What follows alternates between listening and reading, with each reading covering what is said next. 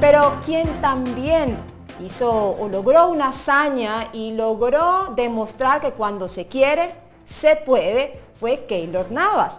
Además, recientemente se presentó eh, la premier de lo que será la película biográfica Hombre de Fe. La expectativa de muchos amantes del cine y del fútbol, en especial la del portero costarricense y del Real Madrid, Keylor Navas, por fin fueron saciadas con el estreno de la película que a partir del 28 de diciembre estará en todas las carteleras de Costa Rica.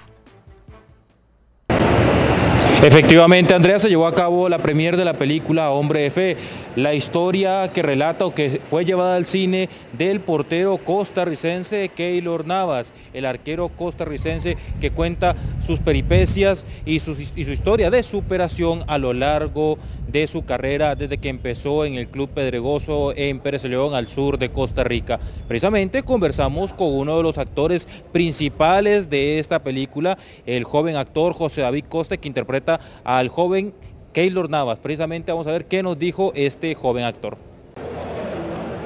En realidad, yo siento que al interpretar este personaje es, esencial eh, saber, saber cómo hacerlo. A, pesar de ser una responsabilidad, dejaba de serlo el hecho de, de que yo me sentía feliz interpretándolo, porque es algo mío, lo mío siempre lo ha sido. A los niños nunca dejen que nadie les diga que no. A mí me dijeron que no muchas veces, pero en mi corazón nunca lo creí. Siempre creí que el único que me podía decir que no era Dios. y lo sigo creyendo.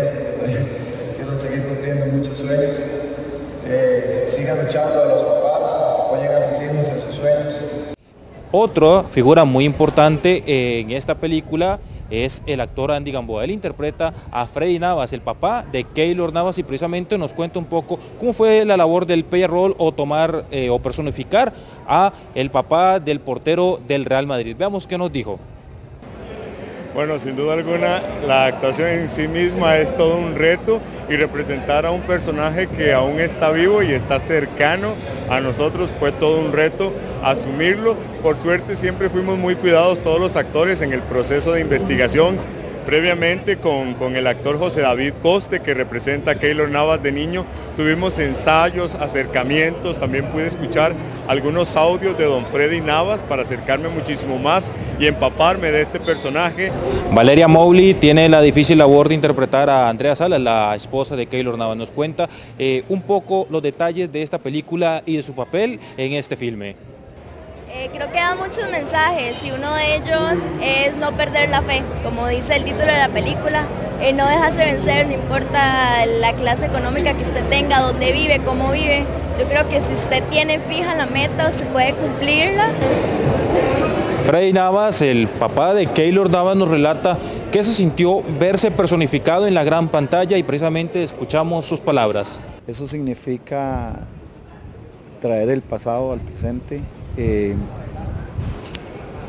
revivir muchas cosas muy importantes y, también ver cómo el esfuerzo de, un muchacho, eh, de, mi hijo, del viejo, este, nos da satisfacción ahora por, por todo el ejemplo que él da. Sin duda alguna, Hombre de Fe, una película que relata la vida del portero de Keylor Navas también movió las fibras de muchos costarricenses, pues repasa esa Costa Rica rural, la lucha de Keylor Navas desde una zona rural, en este caso en el sur de Costa Rica, hablamos de Pérez León, hasta su llegada al Real Madrid en España. Esta película está disponible en los cines de Costa Rica desde el 28 de diciembre. Andrea, usted tiene más información en el estudio principal. Armando, muchísimas gracias por tu reporte, excelente reporte desde Costa Rica con este estreno de la película Hombre de Fe. Sin duda va a ser, o será, o ya es, una película que nos llenará de esperanza, no solamente a los costarricenses, sino a todos los centroamericanos. Gracias Armando por tu reporte con el reporte de Armando Gómez despedimos este contacto informativo. Ha sido un placer haberles acompañado.